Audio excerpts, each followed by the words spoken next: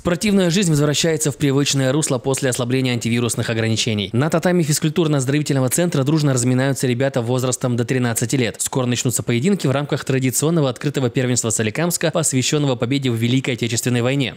В соревнованиях принимают участие более 80 участников с Соликамска, Березники, Кизева, Яева. Те ребята, которые уже не первый год э, выступают на данном мероприятии, уже имеют какой-то технический арсенал. Сегодня мы увидим замечательную борьбу э, юных дзюдоистов. Благодаря компании «Уралкалия» наши мечты многие сбываются. Это поддержка детского спорта, это выезд спортсменов на соревнования, на учебно-тренировочные сборы.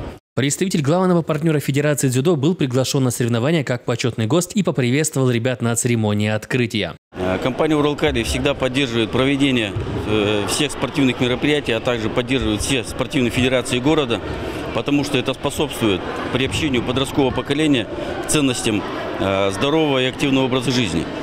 Мы узнали о правилах судейства в этом виде спорта. Соперникам на борьбу отводится две минуты. Арбитры следят за захватами и бросками.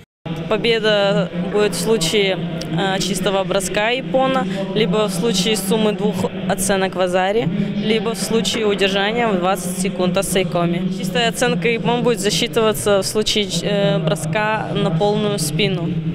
Э, оценка в Азаре будет засчитываться, когда соперник падает на бок. Болельщики и родители на трибунах во время схваток вели себя тихо, чтобы маленькие борцы лучше слышали подсказки тренеров. Захват бороться.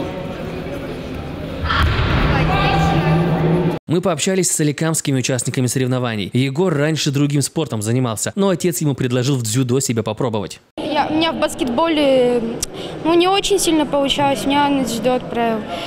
Ну, здесь тренер самый, мне кажется, добрый из всех, потому что он не орет никогда. Я хотел записаться на какой-то вид спорта, чтобы обороняться. Меня папа отправил в дзюдо. Как ты тренировался и как ты готовился к соревнованиям? Я готовился, ходил каждый день на тренировки, делал броски, выполнял э, упражнения на резине. Но я надеюсь занять хотя бы второе или первое место.